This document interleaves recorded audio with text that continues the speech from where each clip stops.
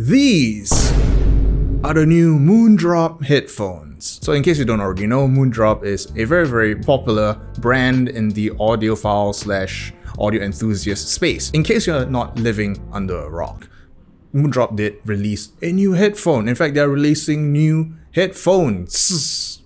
Plural. Initially, they released the new Moondrop Void, and now they have the new Moondrop Venus, both of which have kind of made small little waves in the community, but not too much as of yet, which is kind of surprising considering the amount of reputation that Moondrop has. But now, you know, after clearing out all of my work backlog, I shall now finally talk about their new headphones. So let's just answer the burning question. Are they actually good?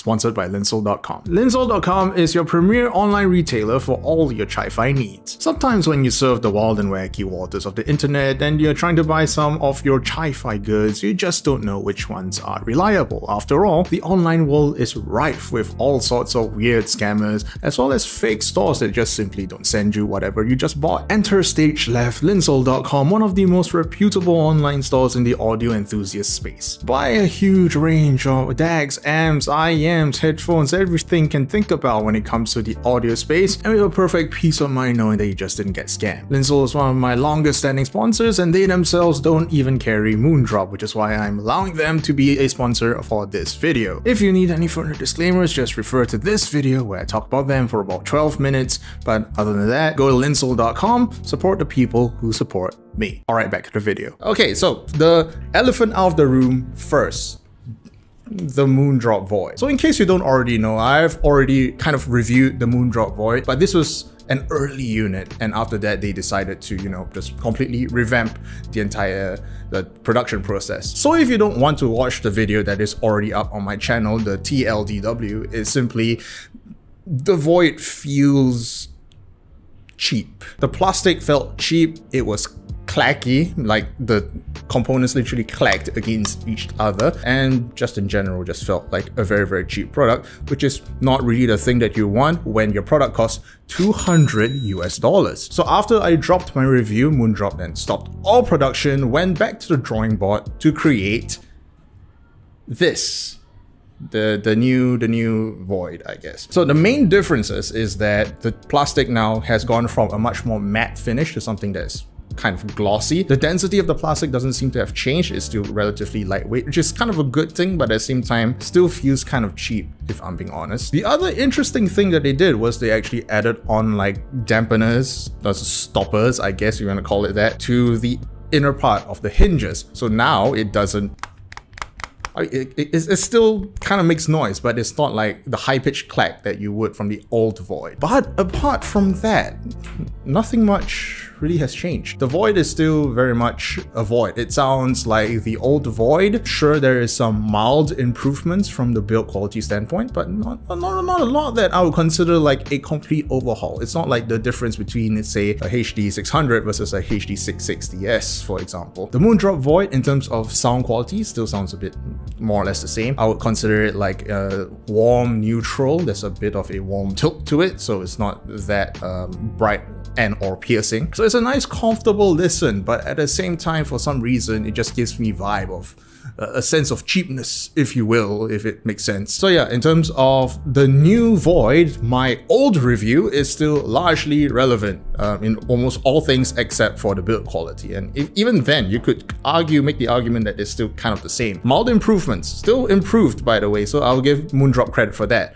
Um, but I still probably wouldn't recommend people to it on a purely like, oh, this feels premium. It, it, it doesn't it doesn't. All right, elephant out of the room. Let's now talk about the headphone that everyone is talking about now the Venus. So Moondrop themselves are going to be releasing three new headphones for their first uh, batch. First of all is the dynamic driver Void. After that would be the planar Venus. And then right after that would be the electrostatic Moon Zero. The Venus now costing a cool $600 is their second in the lineup. And in general, for a just quick snippet that you can just clip off, it sounds good. It's a good, arguably excellent headphone. in a bracket that is not necessarily touched by a lot of headphones. So what exactly does a Venus sound like? Well, it sounds neutral. It sounds maybe slightly bright tilted, but it's a planar that sounds closer to something like, let's say, a Hi-Fi-Man as opposed to an Audeze. So um, naturally, I would prefer something like that. Beyond all the sound things, one thing that really stood out to me was that going from the Void to the Venus is just the sheer difference in build quality. You have the Void, which kind of feels cheap-ish and maybe something that you get like $50. And then you have this chunk of a thing. Jesus Christ, it is solid fucking metal. I don't know how Moondrop went from something like uh, like that to something like this. It is almost inconceivable. I don't know how they do it. But I guess uh, the price difference of $400 might have something to do with it. I don't know. Okay, let's not talk too much about build quality. Yes, it's a chunk. It is very heavy. It Honestly, it is too heavy yeah, this is kind of edging into Audeze breaking your neck territory. The sound itself is clean. Nothing really gets emphasized too much apart from maybe the higher frequencies. Everything is properly articulated, enunciated, very well separated, all those snake oil terms, I guess you want to call it that. But beyond the things I can just describe you that you could easily see from the graph, the measurements, the most important thing is how competitive is it within the headphone market, which is an interesting conversation to have because it currently exists in a price bracket that, again, as, as I mentioned, not a lot of brands really get into. The realm of $500 to $1,000 is not very well populated if, if, if, I'm being honest. So let's just talk about the Venus's immediate competition, which would be the Hi-Fi-Man Edition XS as well as the Focal Elex. I am completely ignoring the HD660S because they are absolute garbage. Now at this point, I would actually consider the Hi-Fi-Man Edition XS to be the benchmark of the $500 range.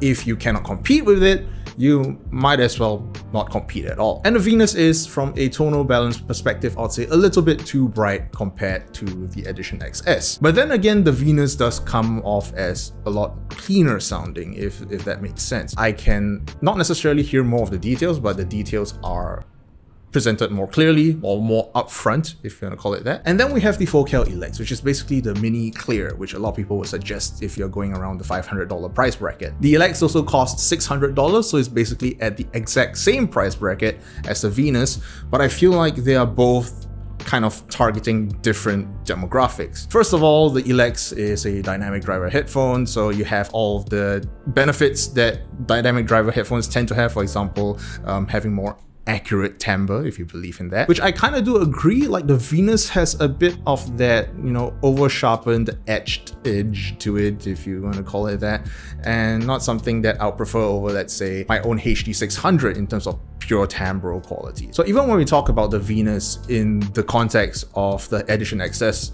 and the Elex, we also have to understand that it is kind of one of the only options or very few options that you can have in this price bracket. The Venus is neither overachieving nor is it under expectations, if you can kind of make sense of that. It is perfectly placed as it should be. I wouldn't recommend the Venus over something like the Edition XS, nor would I recommend something over the Elex, for example. I would absolutely recommend it over this, again, the 660S because, again, it is hot garbage. But in terms of the $500, $600 price bracket, I feel like the Venus does have the potential to become one of a mainstay recommendation. Like there is genuinely not a lot of products in this range. And yes, you do get your money's worth when it comes to the absolute uh, build quality of the thing. It is certainly better built than any Hi-Fi-Man I've come across and potentially better built than an Audeze, I think. I don't want to make that claim. I'm not I'm not a build quality guy, you know, again, just take my word for it when it comes to sound quality. So in terms of the final rankings, in the context of the headphone ranking list that I have on my website, crinacle.com, the Moondrop Void still has the same ranking. I don't think it changes too much from its revision. The Moondrop Venus, however, I have not really thought about it too much. I'm just like filming this on the spur of the moment. But you know, I'll put up the ranks here. Right here, right here, somewhere, somewhere here. All right. I'll think about it later. Okay. But yeah, I would say Moondrop now has a decent start to the headphone market. I wouldn't say that they're like, oh, you know, they're, they're breaking the headphone market now. Not really, you know, they still have quite a bit to do. But what on the street is that they're going to be taking on very similar strategies to what they have done with, you know, the KXXS, the Aria, Starfield, so on and so forth. So We'll see. And beyond all that, let me just thank my big money boys. Here are all of your beautiful names if you have subscribed to the $20 tier on my Patreon. And for those who have subscribed to the $30 tier, allow me to speak out your beautiful names. McMadface, Dennis, Laughing Psychonaut, HK57, TJ Daly, Saswata, Krenagel, Arisha, Alicia Burrito, Alex Frit, Andrew, Kevin, Pit Vanderwit, Posichronic, and Amber. I thank you all. You know, honestly, I have no idea when this video is going to be uploaded. It could be like anywhere from Christmas time all the way up to like after the new year. So regardless, I guess it's like happy holidays, I guess. See you next week, month, year, year. And don't die. Fuck off.